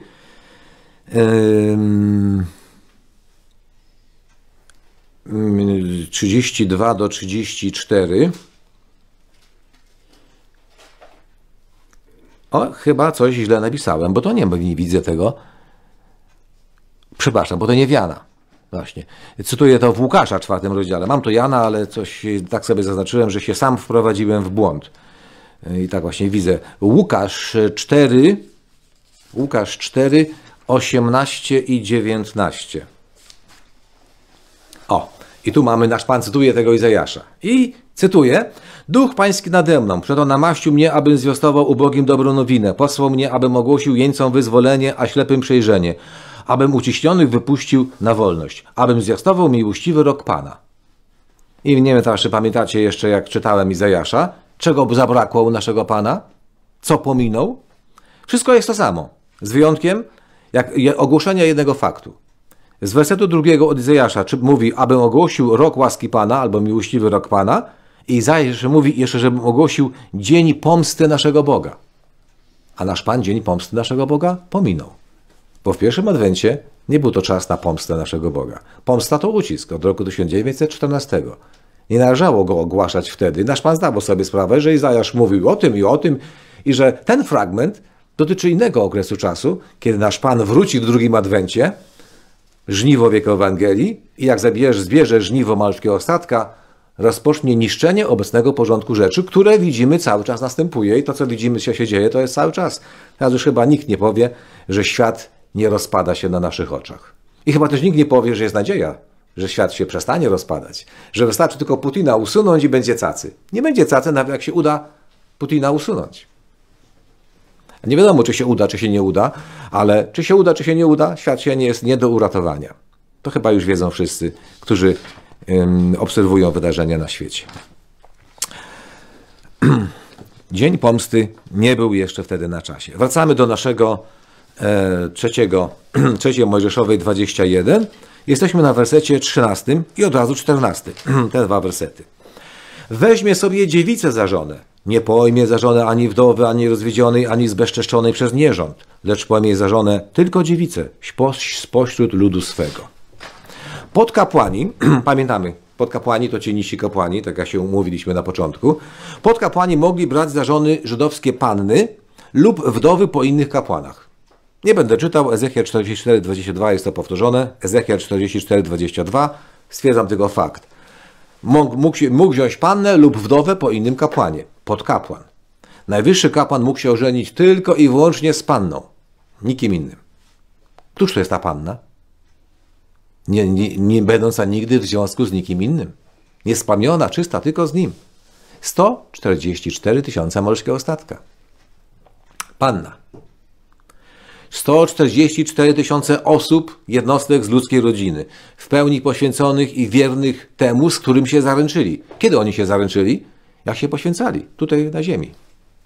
Jak przychodzili do Boga i przez Jezusa się poświęcali, to się zaręczali z naszym Panem. Chcemy być częścią Ciebie, Jezu.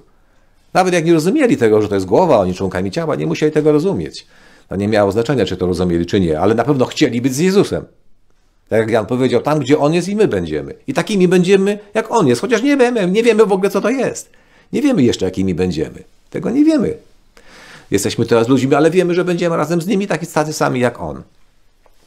Więc przy poświęceniu było to zaręczenie i w chwili tego zaręczenia, czyli poświęcenia, oni przyrzekali mu wierność. Tak jak, byli, jak, już byliby małżeństwem. Pamiętamy ten zwyczaj żydowski, że te Żyzyty mieli zaręczyny rok wcześniej przed ślubem i po tym roku, po zaręczynach, taka panna zaręczona komuś miała już obowiązek być wierna, czysta temu, którym była zaręczona, chociaż nie mieli jeszcze oficjalnego związku małżeńskiego, ale to już zaczęło od zaręczyn, już biegła jak gdyby ich relacja. Ona już była przeznaczona jemu, nie miała prawa okazać mu się niewierna. Dzisiaj ludzie są niewierni nawet po, po, po ślubach, prawda? Sobie. A po zaręczynach, o to. Do w urzędzie cywilnym można spotkać człowieka, który przychodzi i mówi, ja tu dwa miesiące temu ślub zarejestrowałem i, i tam podałem nazwisko przyszłej mojej żony, ale w międzyczasie jest inne nazwisko, już się zmieniło, więc pani nam zmieni. Już nie będzie ta pani, którą wtedy zgłaszałem, będzie inna. Nawet tak, tak, w takim czasie nastąpiła zmiana. A tutaj miała być panna, tak ten żydowski zwyczaj pokazywał. I oni, i wszyscy ci, wszyscy ci, którzy sami połączyli się z kimś innym, albo dali się połączyć z kimś innym, czyli w tym obecnym złym świecie, okazują się nieodpowiedni na żonę do naszego Pana. Nie są nieodpowiedni, żeby być tą panną. Psalm 45, zacytuję kilka wersetów o tej pannie. Psalm 45, 11-12. Słuchajże, córko, spójrz i nakłoń ucha, zapomnij o ludzie swoim i o domu ojca swego a zapragnie król, nasz Pan jest tym królem, piękna Twojego. Pokłoń mu się, bo on jest Panem Twoim. Słuchajże, córko, to walczkie ostatka wezwanie, nakłoń ucha i teraz zauważmy, zapomnij o ludzie swoim i o domu ojca swego. Bardzo wymowne. O ludzie swoim i o domu ojca. Od czego pochodzisz? Z rodziny ludzkiej. Bo pójdziesz do nieba, do boskiej natury. O tym wszystko, co ludzkie zapomnij. I służ temu, swemu królowi, który zapragnie Twojego piękna, jeżeli tym pięknem będziesz, jeżeli je nabędziesz, jeżeli je rozwiniesz. 2 Koryntów 11:2. 2 Koryntów 11:2.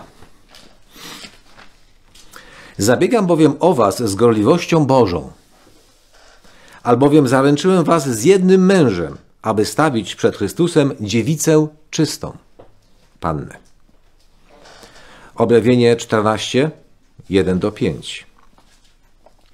I widziałem oto baranek stał na górze Syłon, a z nim 144 tysiące tych, którzy mieli wypisane jego imię na czole i imię jego ojca.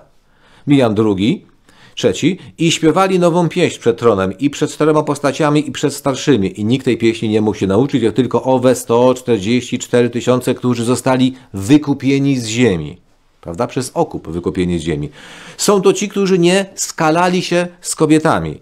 Tak? A tutaj to tak to i są bowiem czyści. To są bowiem czyści, to w oryginale nie jest czyści, tak jak Biblia Warszawska oddaje, tylko są dziewicami, są pannami. Nie skalali się z kobietami, czyli nie, nie skalali się z różnymi innymi kościołami, w którymi, z którymi by wchodzili w jakieś układy i związki. Podążają za barankiem dokądkolwiek idzie. Zostali wykupieni z pomiędzy ludzi jako pierwie, pierwociny, pierwiastki, pierwsze zbawione istoty dla Boga i dla baranka, a w ustach ich nie znaleziono kłamstwa, są bez skazy. No i radość z zakończenia wyszukiwania całego malutkiego statka, jaka w objawieniu 19 rozdziale w wersecie 7 i 8 jest opisana i tam przy okazji mamy i cechy ich. Weselmy się i radujmy się i oddajmy mu chwałę, gdyż nastało wesele baranka, a oblubienica jego przygotowała się. I dano jej przeoblić się w czysty, lśniący bisior, tak? A bisior oznacza sprawiedliwe uczynki świętych werset 15 naszego podstawowego, czyli już ostatni. Aby nie zbezcześcił swego potomstwa wśród swego ludu, gdyż ja Pan uświęcam go. To jest po tym 14, który mówi o tym, żeby sobie wziął za żonę tylko i wyłącznie pannę. Bo jakby wziął sobie nie pannę, to może zbezcześcić, i zauważmy, nie zbezcześcił swego potomstwa wśród swojego ludu. Okazuje się, że oprócz świątyni Boga, która mogła być zbezczeszczona przez naszego Pana, jako najwyższego kapłana, gdyby on wyszedł z tej świątyni, o tym mówiliśmy w wersecie 12, tak? Nie wyjdzie ze świątyni, aby nie zbezcześcił świątyni swego Boga, ludu Bożego w wieku Ewangelii. A tutaj mówi, nie weźmie sobie innej za żonę, tylko czystą pannę, żeby nie zbezcześcił swego potomstwa. No to potomstwo to nie, to nie świątynia, to są jego dzieci. I mówi, jakby wziął sobie inną żonę, to z tą inną żoną nie miałby takich dzieci jak trzeba. No tak, to mąż i żona, ojciec, matka są oboje są ważni dla tych dzieci, prawda? I dlatego należy mądrze zawierać związki małżeńskie, żeby ewentualnie nie mieć później potomstwa takiego, jakiego by się nie chciało, bo nie wiadomo, jak te cechy dziedziczne przychodzą, ale różnie to może być. Zatem nie weźmie sobie żony nieodpowiedniej, nieczystej, żeby nie zbezcześcił potomstwa. Kim jest ten, kto to jest tym potomstwem? No znając Pan Boże wiemy. Biedni ludzie tego świata, łącznie z chrześcijanami, nie wiedzą. Ich wodzowie religijni zatajali, zatajili przed nimi prawdę. Podeptali, zdeptali prawdę i wymieszali ją z błotem, z mułem. Do tego stopnia, że tam jest więcej błota i mułu niż prawdy. Nic nie wiedzą. A potomstwem naszego Pana jest klasa restytucyjna, jako dzieci Jezusa. To są Jego dzieci. On im da życie, odda życie, które stracili w Adamie. On za nich umarł i On stanie się dla nich Ojcem.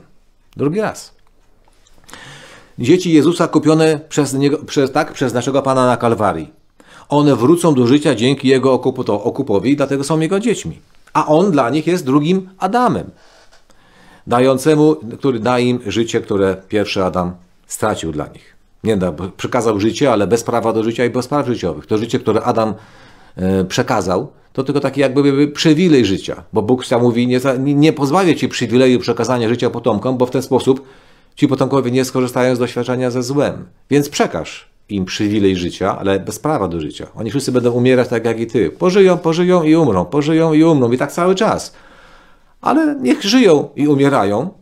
Będę tolerował ich życie jako przywilej życia bez prawa do życia, dlatego nasz Pan mówił, niech umarli grzebią umarłych, bo wszyscy są umarli, skazani na śmierć w Adamie, żeby, żeby doświadczenia z grzechem trochę nabrali. Więc nasz Pan staje się dla nich drugim Adamem. Jednym z tytułów naszego Pana, tak, Izajasz 9, 5 albo 6, zależnie jaki, jaki przekład, jest powiedziane, że On jest Ojcem wieczności, nasz Pan, albo Ojcem na wieki. To właśnie ten tytuł z Izajasza 9, 5 lub 6, zależnie jaki przekład, dotyczy tej działalności naszego Pana. A oprócz tego możemy jeszcze zacytować inne fragmenty. Jana 5 rozdział 21. Jana 5, 21. Albowiem jak ojciec zbudza z martwych i ożywia, taki syn ożywia tych, których chce. Nie sądźmy, że tych, których chce, oznacza, że niektórych nie ożywi, on chce wszystkich. Czyli ożywia tych, których chce, a chce umarł za wszystkich potomków Adama. 6,51, także Ewangelia Jana. Ja jestem chlebem żywym, który z nieba stąpił. Kto, jeśli kto spożywać będzie ten chleb, żyć będzie na wieki. A chleb, który ja dam, to ciało moje, które ja oddam za żywot świata. 10, 10. Nadal Jana. Ewangelia. Złodziej przychodzi tylko po to, by kraść i zarzynać, wytracać. Ja przyszedłem, aby miały życie i obficie miały. Tu razu powiedział, żeby miały życie, a obficie miały. Powiedział, żeby miały życie, ma na myśli na pewno wiek tysiąclecia. I obficie miały, jak gdyby jeszcze w większym stopniu, ma na myśli klasy duchowego Izraela, szczególnie maluczkie statko, które będą miały bardziej obfite życie, bo na wyższej boskiej naturze. 11 rozdział 25 i 26 nadal Jana. Jam jest zmartwychwstanie i żywot. Kto we mnie wierzy, choćby i umarł, żyć będzie. A kto żyje i wierzy we mnie, nie umrze na wieki. Tak powiedział do y, do, nie Samarytanki, tylko do siostry Łazarza. 1 Koryntów 15, 21. 1 Koryntów 15, 21 do 26. O, dłuższy fragment. Skoro bowiem przez człowieka śmierć, przez człowieka zmartwychwstanie. Albowiem jak w Adamie wszyscy umierają, tak też w Chrystusie wszyscy będą ożywieni. Każdy w swoim porządku. Najpierw Chrystus, nie ma na myśli siebie, ja na, nie siebie. Nie chodzi o naszego Pana, bo to Paweł pisze. Paweł nie ma na myśli naszego Pana, tylko ma na myśli klasę Kościoła. Nazywa go Chrystusem, bo nasz Pan już wtedy był w niebie, gdy Paweł pisał te słowa. Jako pierwszy Chrystus, a potem ci Chrystusowi w czasie Jego przyjścia. Tak? To przyjście to jest paruzja. Potem nastanie koniec, gdy odda królestwo Bogu Ojcu, zniszczy wszelką zwierzchność, wszelką władzę, moc, bo on musi królować, dopóki nie położy wszystkich nieprzyjaciół pod stopy swoje, a ostatni wróg to do zniszczenia to śmierć, oczywiście śmierć Adamowa.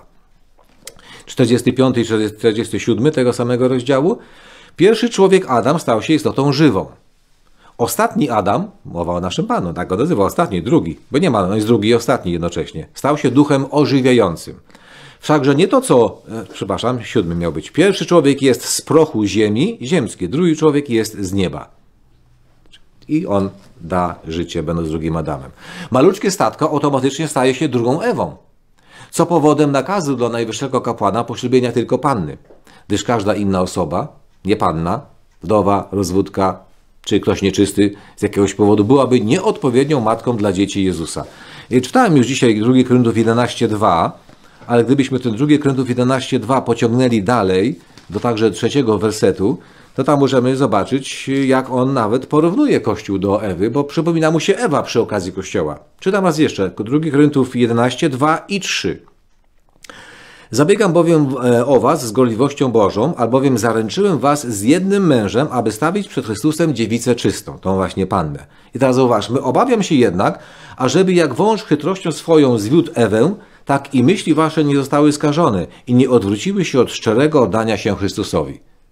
Bo gdy się odwrócą, nie będziecie tą panną czystą, którą chcę przygotować dla nich, żebyście się nie stali tak jak Ewa, bo wy jesteście taką drugą Ewą. Dla Izraela duchowego wieku Ewangelii Jezus jest ojcem też wieku Ewangelii przez usprawiedliwienie, jakie na podstawie wiary jest przypisywane wierzącym wieku Ewangelii. Ale w wieku tysiąclecia nasz Pan będzie rzeczywistym ojcem dla świata ludzkości. Bardziej większe tego słowa znaczenie niż dla klas duchowego Izraela w obecnym czasie, bo nie tylko przez przypisanie jego usprawiedliwienia, tylko przez rzeczywiste danie im życia wyprowadzenie ich z grobu. Gdy klasa restytucyjna będzie podążać tym gościńcem świątobliwości wieku tysiąclecia, nie pozwoli on swoim wiernym dzieciom niczym się skalać ani zanieczyścić. Tym samym będzie dla nich sprawcą życia wiecznego. Tak? Nie zbezcześci swego potomstwa wśród swego ludu. Tak będzie dbał o swoje dzieci z wieku tysiąclecia. Powodem takiej skuteczności Jezusa jest to, że jest napełniony duchem. Gdyż ja Pan, kończy się werset 15, gdyż ja Pan uświęcam go ja Pan daję mu kwalifikacje i w charakterze, i co do urzędu, żeby mógł to wszystko przeprowadzić. Ja Pan mu tego przygotowałem. A jeżeli ja go przygotowałem, to niczego mu nie zabraknie, żeby wypełnić to w ten sposób, żeby nie zbezcześcił swego potomstwa. Żeby tych, którzy będą mu wierni i posłuszni, nie upadli, nie zboczyli. Przeczytam jeszcze werset z Żydów 5:9 o tej o tym niezbędnym fakcie posłuszeństwa wierności naszemu Panu, żeby być zbawiony. Nie z bezcześci, tylko tych, którzy będą mu posłuszni. E, Żydów 5:9.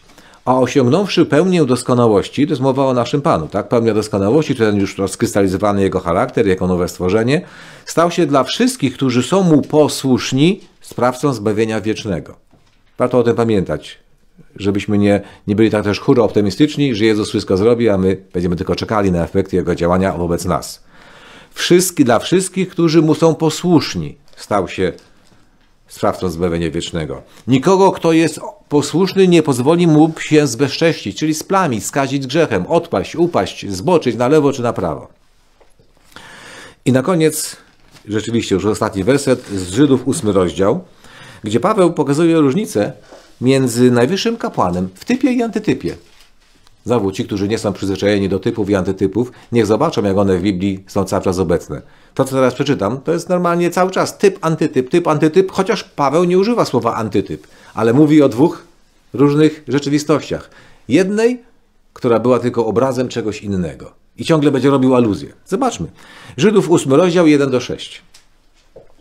Główną zaś rzeczą w tym, co mówimy, jest to, że mamy takiego arcykapłana, który usiadł po prawicy tronu majestatu w niebie.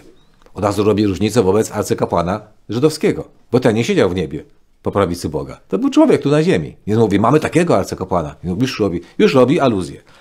Jako sługa świątyni, tak jako sługa świątyni i prawdziwego przybytku, który zbudował Pan, a nie człowiek. Mówi, to zapomnijcie o tym przybytku, który człowiek zbudował. Tam, który mieli tam ofiary, były składane, tam byli kapłani, najwyższy kapłan był. To nie, to nie. Mamy takiego arcykapłana, który jest w niebie, jest sługą świątyni i prawdziwego przybytku. Czyli mówi, tamten był taki, no, nieprawdziwy. No bo tylko cień, tylko obraz, tylko typ. I to Pan zbudował ten prawdziwy, o którym ja wam teraz piszę, a nie człowiek tam wtedy na pustyni, czy później już w, w Kanaanie. Albowiem każdy arcykapłan bywa ustanowiany, aby składał e, dary i ofiary. Dlatego jest rzeczą konieczną, żeby i ten miał co ofiarować. Więc mówię ogólnie o roli kapłana, że jego rolą jest ofiarowanie. Więc i ten, o którym ja mówię, ten prawdziwy arcykapłan też ma co ofiarować. Swoje człowieczeństwo, swoją ludzką naturę. To jest jego cielec. Ten cielec z obrazu to, to ludzka natura naszego Pana ofiarowana. Nowe stworzenie naszego Pana miało co ofiarować. Swoje własne człowieczeństwo. To był, to był jego cielec. Czwarty. Otóż, gdyby był na ziemi, mówi o naszym Panu, o tym prawdziwym arcykapłanie, gdyby był na ziemi, nie byłby kapłanem skoro są tu tacy, którzy składają dary według przepisów zakonu. O co to Pawłowi chodzi? Gdyby on był tutaj na ziemi, nie byłby kapłanem, bo nasz Pan nie pochodził z pokolenia Lewiego, tylko z pokolenia Judy. I mówi, gdyby był na ziemi tutaj kapłanem, to nigdy nie byłby kapłanem. Bo są tu tacy, którzy według przepisów zakonu muszą być z pokolenia Lewiego. Tylko stamtąd są kapłani i arcykapłani. Od Lewitów. Nasz Pan jest od Judy, więc na ziemi nie byłby kapłanem, ale jest. Pomimo tego, że nie z Lewiego, tylko z Judy, to jest. Tym, w antytypie jest tym kapłanem. Jest tym prawdziwym, o którego chodziło. Nie o tamtych, które były tylko obrazem na ziemi. Piąty. Służą oni w świątyni, która jest tylko, no i to już w ogóle wprost mówi, służą oni w świątyni, tej właśnie żydowskiej, tej typicznej, która jest tylko obrazem i cieniem niebieskiej, jak to zostało objawione Mojżeszowi, gdy miał budować przybytek. Bacz powiedziano mu, abyś uczynił wszystko według wzoru, który ci został ukazany na górze. Dlatego miał ukazać dokładnie wszystko według wzoru, ponieważ ten typ to był obraz tego prawdziwego, więc wzór musiał być jak najbardziej dokładny, bo tam były szczegóły związane z tym prawdziwym. Jakby coś zmienił, no to automatycznie zmieniłby obraz rzeczywistego czegoś, prawda? Gdyby coś było nie tak. Na przykład gdyby pomylił złoto ze srebrem. Złoto to boska natura, prawda? A srebra to, to srebro to co prawda. I tam, gdzie Bóg chciał boską naturę, tam wprowadzał złoto. Tam, gdzie chciał prawdę pokazać, to wprowadzał srebro. I różne inne rzeczy, prawda? Tego, całe, wszystkie te szczegóły. Jakby coś pomylił, no to zmieniłby znaczenie tego, co Bóg chciał o prawdziwym przybytku powiedzieć. I ostatni werset. Teraz zaś objął o tyle znakomitszą służbę, o ile lepszego przymierza jest pośrednikiem, które ustanowione zostało w oparciu o lepsze obietnice. Zobaczmy, znakomitsza służba. Nie taka ta arca kapłana, takiego tam Arona na, na początku i potem jego następców. To nie on znakomitszą służbę pełni, no bo też lepszego przymierza, lepszego niż przymierze zakonu. Mam na myśli nowe przymierze, na podstawie którego cała ludzkość otrzyma kiedyś życie wieczne. Więc cały czas widzimy typ, antytyp, typ, antytyp i cały czas mówi, tam to jest drugorzędne, mało znaczące, tylko tu na ziemi, doczesne, chwilowe obrazem tego, co prawdziwego. I tyle do wersetu szóstego. Takiego mamy arcykapłana, który jest tym prawdziwym, a nie tym tylko z cienia. I gdyby był na ziemi, nasz Pan nigdy by nie był najwyższym kapłanem, bo był z Judy. To wyraźnie tutaj Paweł wykazał. Tyle w temacie czystość najwyższego kapłana. Takiego najwyższego kapłana miał Kościół, ten najwyższy kapłan jest także kapłanem dla całego świata ludzkości wieku tysiąclecia. On także pracuje nad nami, próbując nasze człowieczeństwo doprowadzić do jak największej harmonii, doskonałości, harmonii i zgody yy, z wolą Boga przez doprowadzenie nas do jak najwyższego poziomu do sprawiedliwości, do miłości bezinteresownej, ile mu się damy doprowadzić na tyle nas doprowadzi, a kiedyś da nam życie wieczne i tej całej biednej, umęczonej ludzkości, która o niczym dzisiaj jeszcze nie wie, ale dowie się, będzie się dowiadywała, myślę, że coraz bardziej, bo będzie ludzkość chciała szukać i słuchać rzeczy, które mogłyby dać im pociechę, nadzieję w tych warunkach wzmagającego się ucisku, który nie będzie słabł, a jak osłabnie, to tylko na chwilę, żeby potem uderzyć z jeszcze większą siłą. Dziękuję za uwagę. Niech Pan pobłogosławi te myśli dla, dla nas wszystkich. Zakończymy modlitwą. Boże Panie nasz, w tej chwili południowej przechodzimy przed tron Twojego miłosierdzia. Jak zawsze czynimy to w imieniu Twojego Syna, którego dałeś, aby za nas umarł, którego uczyniłeś kapłanem doprowadzającym wszystkie klasy ludu Bożego wieku Ewangelii do jak największej harmonii z Tobą. A mało tego, razem z Kościołem ten kapłan będzie pracował nad całą ludzkością, aby ich doprowadzić do pełnej harmonii jako swoje dzieci, jako swoje potomstwo, aby dać im życie wieczne w stanie pełnej, pełnej doskonałości, z czego świat dzisiejszy w ogóle nie zdaje sobie sprawy, chociaż napisałeś to wszystko w Biblii. Jest to wszędzie wszystko dostępne, ale szatan przez swoje narzędzia tak to wszystko wymieszał, zakrył, poprzekręcał, że ludzie chociaż widzą, czytają, słuchają, bardzo często nic z tego nie rozumieją. Dziękuję Ci za prawdę i za nadzieję, jakie ona nam daje. Prosimy, abyś wszystkie swoje dzieci poświęcone Tobie w obecnym czasie miał w opiece, aby Jezus wykonywał wobec nich, mógł wykonywać wobec nich służbę prowadzącą ich do jak największej zgodności z Tobą, z Twoim charakterem, z Twoim planem, bo to oznacza dla nas doskonałość i życie wieczne w Twoim Królestwie. Za to dziękujemy Ci przez Jezusa Chrystusa. Amen.